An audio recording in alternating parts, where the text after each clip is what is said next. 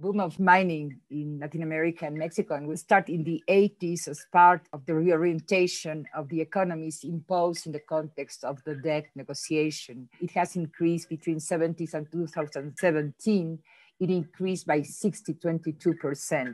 Mining boom started in the 90s, just in the eve of the implementation of NAFTA. I mean, very related to it, as most of the uh, investment in, in mining, it's uh, Canadian, but also Mexican. What I want to address specifically is that there's a development narrative of government and corporations, which is very powerful, that present mining as an undeniable path of development and even for sustainable development there's Mexican and Canadian, also Chinese and American capital, but mostly Mexican and Canadian. But the fact that Mexicans own 60% of the capital in mining uh, activities has not produced any goods for, for the country of mining regions. And we found that mining contributes only with 0.9 of the country's GDP, and that the fiscal contributions of mining rights are really poor.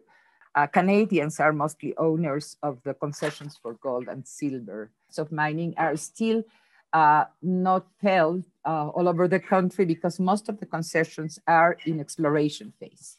So for, for the SDG one, no poverty, between 2000 um, in 12 out of the 15 municipalities, which are the top producers of gold and silver, the levels of poverty are higher than that of the national poverty level, which is already 65%.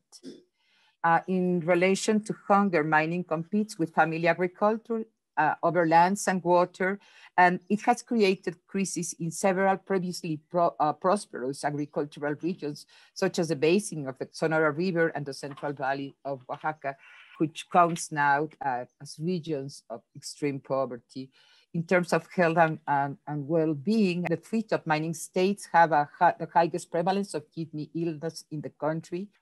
In terms of water, uh, mining in Mexico is based on underground water that supplies 40% of the water demand in the country and 20% of the aquifers that per mines operate are exhausted.